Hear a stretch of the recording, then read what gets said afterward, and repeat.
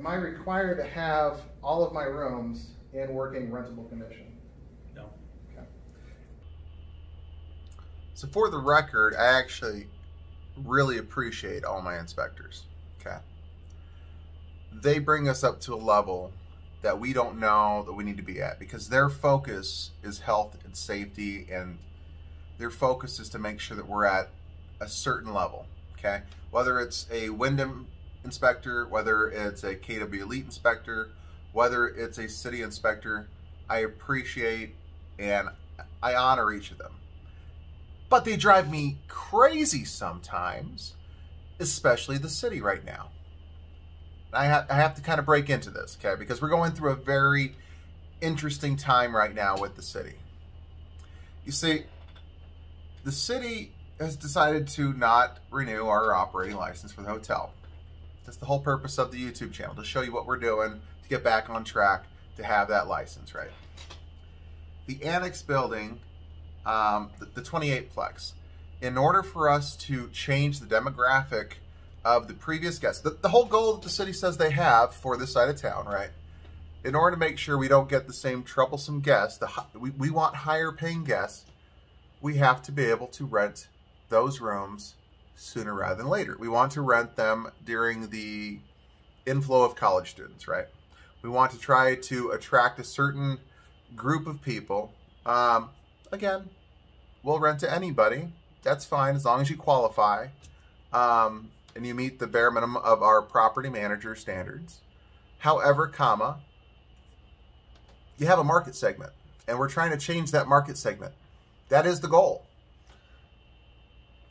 Right now, we're having a bit of a frustrating issue because I was just told the city, well, not the city. Okay, so the group of people that control the city from behind closed doors, the department heads, right?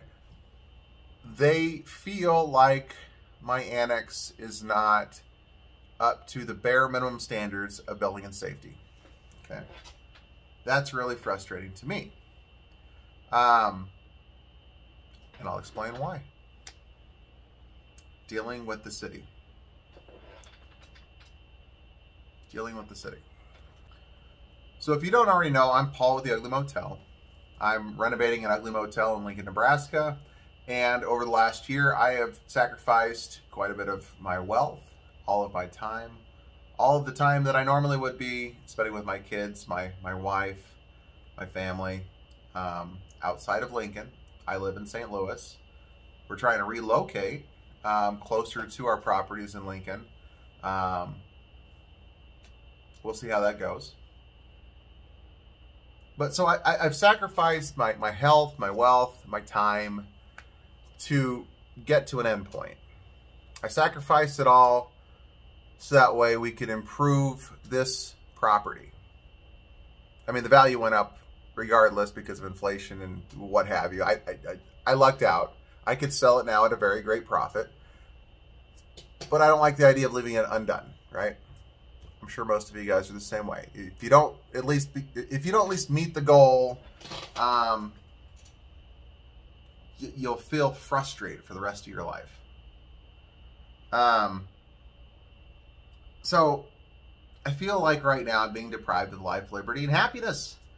I'm, I'm being deprived of, of my life itself, which again, it's a choice. I'm choosing to invest my time in this property. Um, I get that, but there should be an endpoint um, the city recently met and they decided that the building is not up to standards. I said, I need a list of what is wrong so I can fix it. Again, the requirement isn't that all the rooms need to be ready to go. The requirement is that the rooms that I'm renting are operational. I'm not even asking for the 110 units in the hotel right now. I just want the 28 apartments in the annex, right? That's, that's all I need. And if there's an issue with one, I want to fix it because that's what you do. You, if there's a problem, you fix it, you know? Um, so Monday, we're going to be doing uh, a walkthrough. We'll be getting a list of what we need to fix. The frustrating thing I had um, from the director, not the guy you just saw, but the director of Building and Safety, um, the frustrating thing is, is he said, even if you pass everything on the annex inspection, we still might not let you open. Okay, so that brings me back to equality. Okay, um, I should be set at the same standards as everybody else. Is, am I required to have every room operational? No. I want them all operational. And if there's an issue with the room, I'm more than happy to put it as unoperational until it's ready to be rented. But for that building back there, I, have to pay taxes. In fact, I'm behind on my taxes uh, for property taxes. They, they doubled my property taxes the same year they said that this building was not good, right? They doubled it to like four million or six million or something crazy. Um, so I'm having to still pay to operate this building, operate a business, um, which basically is just a giant sinkhole of money at this point. If I have no opportunity or chance to open it up, um, if it's all at the discretion of Chad or a group of people that, again, it's not where they would live. Well, guess what? I mean, you know, we all can't afford hundred thousand dollar salaried houses. We can't all get these great big things.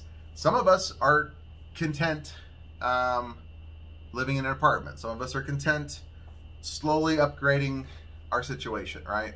Um, I tell you what, my annex building is a lot nicer than a lot of other properties I've seen around Lincoln. Um, definitely a lot nicer than some of the hotels out by the airport. Um, I've had several people even tell me that, you know, they've written off the hotels by the airport. I want my hotel to be above that. I want to keep climbing the ladder. I can't get there if I have no chance of opening. If there's somebody out there that's deciding that I don't have an equal say as every other apartment building, or I don't have an equal right to uh, to my business. Um, so the idea that even if everything comes back correct, that I can't open is frustrating. I think that if they give me a hit list, I should fix that hit list and I should correct those issues and then I should open that portion of the building. And then as we want to open up more, we should be allowed to open up more and only rent out the rooms that are perfect. The rooms that meet all building and safety standards. I 100% agree. We want to make sure everything is great. Um, and here's another thing. Remember, here's here's what city standards should be. It should be like way down here, right? And then this, this is bare minimum hab, uh, habitability, right? And then above that is going to be the property manager, and then there should be mine, you know. And I'm in a weird situation because I had to adjust where I was at when I when I bought the property, and I had to change my game plan. And there's a whole video on that. Don't worry about that. Um, this is just a vent about you know dealing with the city. Um,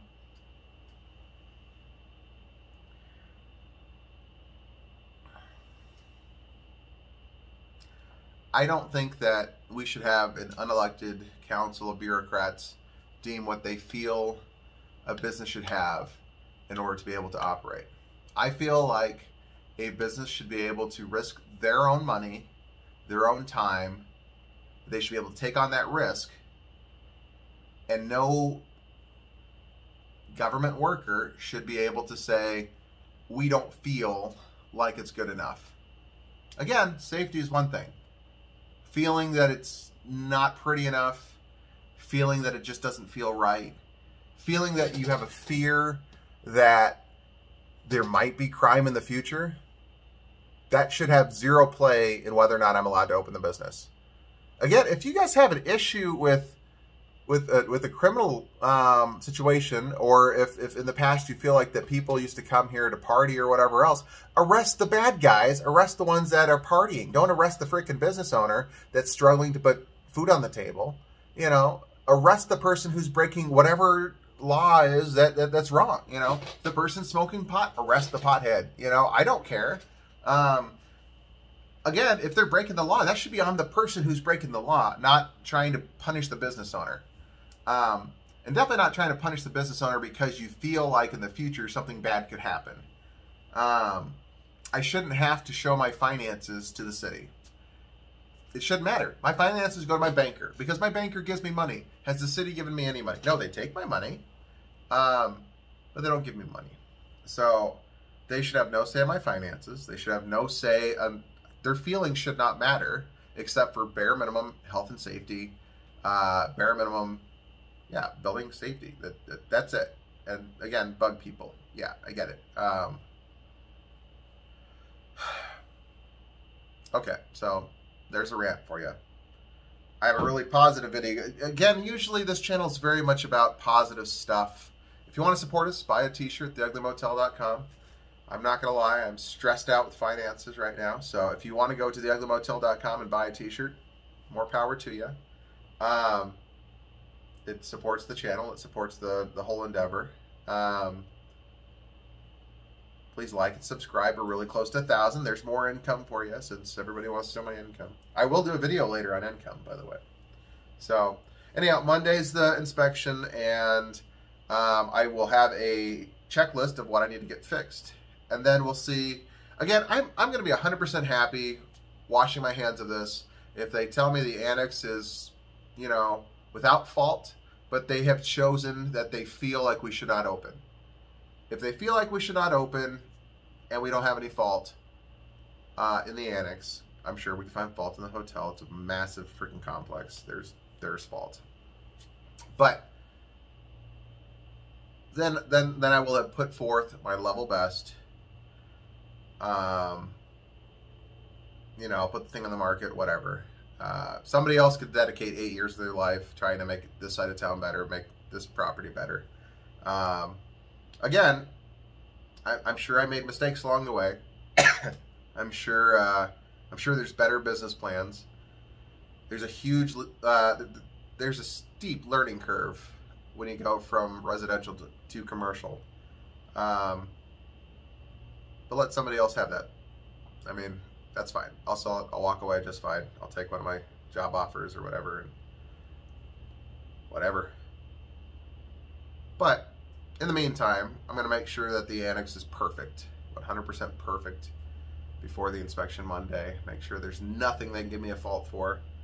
I mean, sure. We'll see. I'll post it either way. So, most transparent guy ever. I'll show you my faults. Hopefully you can learn from them. Hopefully this will be like a cool documentary for whoever buys it next. They'll be like, oh, that's what we don't do. Like and subscribe.